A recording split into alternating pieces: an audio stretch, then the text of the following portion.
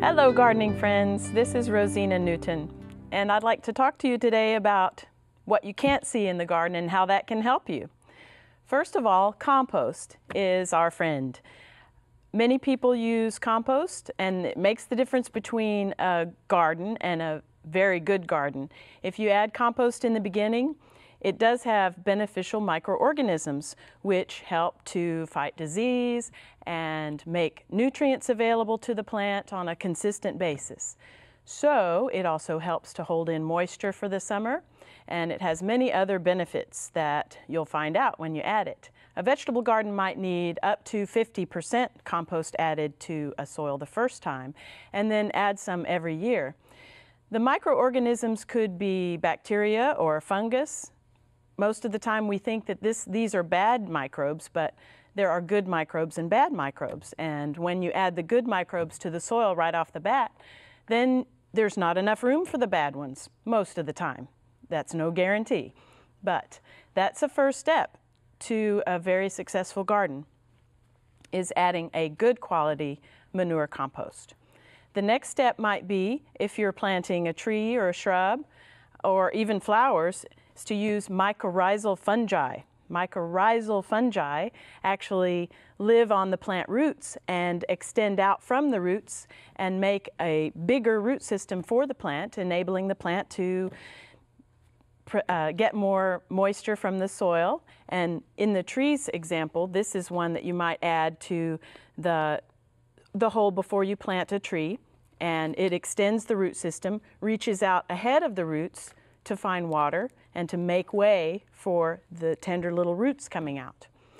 Then um, these are others that you can use for flower plantings and general plantings. Mix into the soil before you plant to add those mycorrhizal fungi.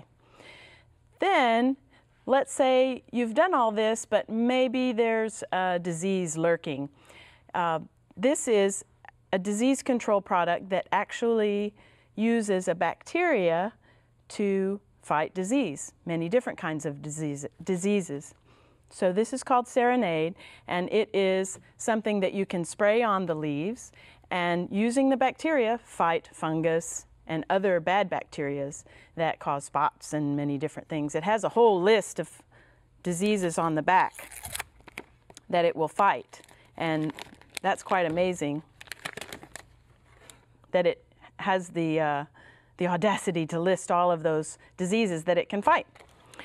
Then for prevention and for cure, Actinovate is a product that's actually made in Houston, Texas, and it is a bacteria also that fights diseases, but also improves the root system, which is a lot of the cases, these beneficial microbes can, um, can fight diseases and help to improve the growth of a plant. So this one is often used with controlling take-all root rot in a St. Augustine lawn, also used to fight some foliar diseases. And then for prevention and, um, and also to help green up a lawn or plants that you're planting in pots or in the ground, you can mix in this product, which is Actino Iron, made by the same company. And it has that same bacteria mixed with iron, and it's in a safe form that you can use in an organic garden.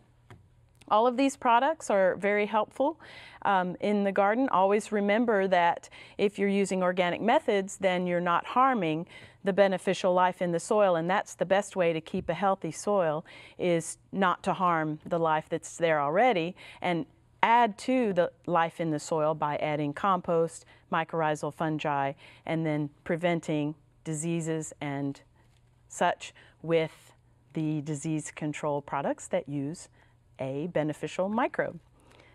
Thanks for listening and enjoy your backyard.